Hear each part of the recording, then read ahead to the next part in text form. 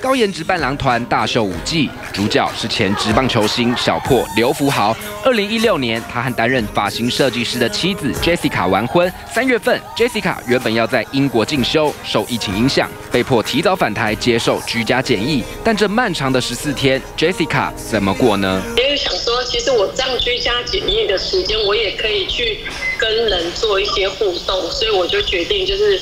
就是开始学习做一些短片，十四天拍了十四支影片。Jessica 大秀十八般武艺，写书法、弹钢琴、烹饪，甚至调酒。很 fashion 的她，也拍摄时尚穿搭以及美妆教学影片。Jessica 透过镜头写下自己的居家简易日记，但她坦言，过程中难免有些不便。我们的生活作息就是刻意把它错开。我通常他去上班的时候，我才会使用到客厅。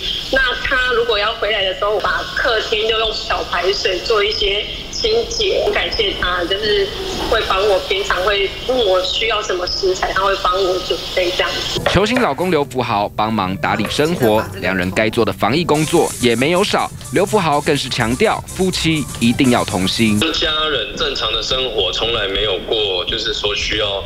哇，戴着口罩，然后很多事情，比如说要特别的去做一个沟通。一晃眼，十四天过了，四月一号，Jessica 总算出关，兴奋之情藏都藏不住，就觉得很像，呃，就是要开学的感觉，就兴奋到睡不着，觉得。人生又充满了更多的希望，这样子。回到自己经营的发廊，Jessica 重拾剪刀，为顾客 settle 出时尚发型。十四天的简易时光，Jessica 过得既时尚又充实。记者黄天耀、陈奕璇，台南报道。